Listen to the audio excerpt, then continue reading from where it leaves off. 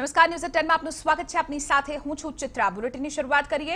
Corona મામલે high court દ્વારા હાથ ધરાયેલી સુઓ મોટોમાં આજે સુનાવણી હાથ ધરવામાં આવશે. હાઈકોર્ટમાં સુનાવણી પહેલા રાજ્ય સરકારે સોગંદનામું એટલે કે એફિડેવિટ રજૂ કરી છે. રાજ્ય સરકાર કોરોના અંગે કામગીરી તેજ કરી હોવાનો દાવો એફિડેવિટમાં વ્યક્ત કરી રહી છે. રાજ્ય સરકારે કરેલી કામગીરીઓનો સોગંદનામામાં ઉલ્લેખ થયો છે.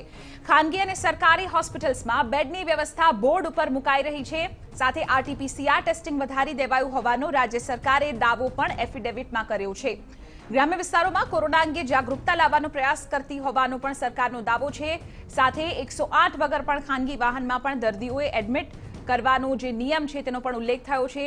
સરકાર આધાર કાર્ડ વગર દર્દીઓની સારવાર થઈ રહી હોવાનો પણ દાવો વ્યક્ત કરી રહી છે. સાથે ક્રિટિકલ કેસીસને ઝડપી સારવાર માટે હોસ્પિટલમાં વ્યવસ્થા થઈ રહી હોવાનું કહ્યું છે. બીજી તરફ વેક્સિનેશન ઉપર પણ ભાર મુકાઈ રહ્યો છે. સરકાર વધુ ચાર જગ્યા ઉપર આરટીપીસીઆર ટેસ્ટિંગ ડ્રાઈવ શરૂ કરશે તેમ કહ્યું છે. સાથે સરકાર ઓક્સિજનની અછત દૂર કરવા ક્ષમતા એટલે કે કેપેસિટી વધારી રહી છે. સરકાર વેબ પોર્ટલમાં ગુજરાતના શહેર તેમજ ગામડાના કેસીસની વિગતો પણ મૂકી રહી છે. આજ મુદ્દે વધુ જાણકારી આપી રહ્યા છે ટીવી નાઇનના સંવાદદાતા કિંજલ મિશ્રા. કિંજલ, આજની જે સુનાવણી છે સો મોટો જે કરવામાં આવી હતી તે મામલે એફિડેવિટ જે રાજ્ય સરકાર તરફથી આપવામાં આવી છે, તેમાં શું મહત્વપૂર્ણ જાણકારી આપવામાં આવી અને આજની સુનાવણી વિશે શું ડિટેલ આપની પાસે? કિંજલ? જો ચિત્ર અગિયાર વાગ્યાથી જે હાઈકોર્ટની ચીફ જસ્ટિસની બેન્ચ છે તેમની દ્વારા સુનાવણી છે તે શરૂ થઈ જવાની છે.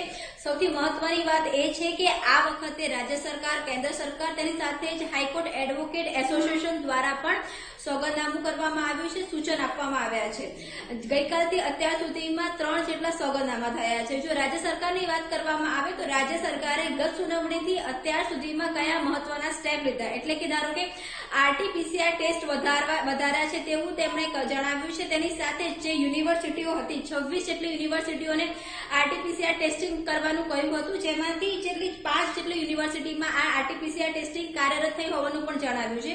જે રાજ્ય સરકાર દ્વારા એવું પણ કહેવામાં આવ્યું છે કે જે બેડની સંખ્યા છે તે વધારવામાં આવી છે. તેની સાથે જ ગ્રામ્ય વિસ્તારોની અંદર પણ સરખી રીતે કામગીરી થઈ શકે, વ્યવસ્થા મળી શકે તે માટેની તૈયારીઓ કરવામાં આવી છે. તેની સાથે જ જો વાત કરવામાં આવે તો એકસો આઠ હવે કમ્પલસરી નથી તેમ પણ જણાવ્યું છે. આધાર કાર્ડ હવે કમ્પલસરી નથી તેમ પણ જણાવ્યું છે તેની સાથે જ બેડની સંખ્યા એ હોસ્પિટલો દ્વારા ફરજિયાત બતાવવાની કહી છે તેવું પણ જણાવ્યું છે. પરંતુ ચિત્ર, જો બીજી તરફ વાત કરવામાં આવે તો ગઈકાલથી જ ધન્વંતરી હોસ્પિટલની અંદર બેડની સંખ્યા અને નંબરો બતાવવાના બંધ કરી દીધા છે. કેમ કે સતત જે રીતે ત્યાં દર્દીઓ આવી રહ્યા છે, તેમને હાલાકી પડી રહ્યા હોવાના અહેવાલો છે. બીજી તરફ જે ગુજરાત હાઈકોર્ટ એડવોકેટ એસોસિએશન દ્વારા એવું પણ જણાવવામાં આવ્યું છે કે ગ્રામ્ય વિસ્તારોમાં ટેસ્ટિંગની કોઈ જ ફેસિલિટી નથી. મધ્ય ગુજરાતમાંથી મોટા ભાગે સુરત અને સુરત અને વડોદરા જવું પડે છે ટેસ્ટિંગ માટે.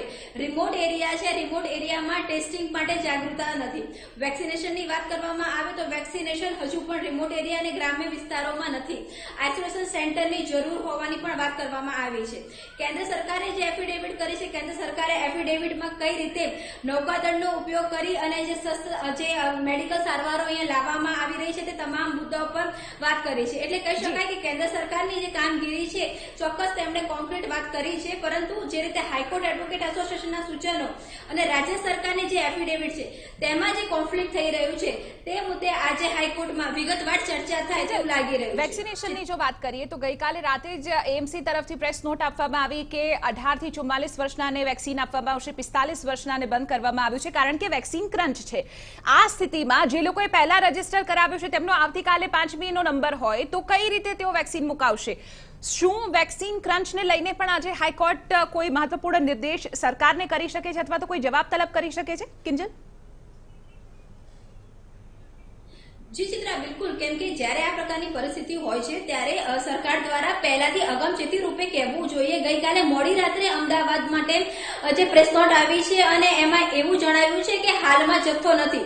જો અમદાવાદ ગ્રામ્યની વાત કરવામાં આવે ગ્રામ્યમાં હજુ પણ અઢારથી પિસ્તાળીસ વર્ષના જે લોકો છે, તેમનું વેક્સિનેશન શરૂ થયું નથી.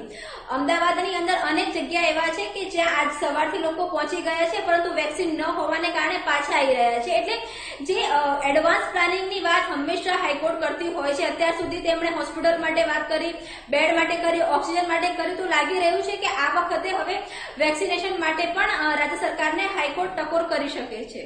આભાર કિંજલ સમગ્ર મામલે જાણકારી આપવા બદલ તો આપને જણાવી દઈએ કે અલગ અલગ જે મુદ્દાઓ છે તે મામલે આજે હાઈકોર્ટમાં સુનાવણી થશે ખાસ તો ઓક્સિજનની જે અછત છે કેન્દ્ર સરકાર તરફથી એફિડેવિટમાં કહેવામાં આવ્યું કે હજુ પણ રાજ્યમાં ઓક્સિજનની અછત છે, પરંતુ તેની સામે રાજ્ય સરકારનું એફિડેવિટ જે છે, કેટલાક વિરોધાભાસ ઊભા કરી રહ્યું છે. આ તમામની વચ્ચે હાઈકોર્ટ શું નિર્દેશ કરે છે, આજની સુનાવણીમાં તે જોવું મહત્વપૂર્ણ બની રહેશે.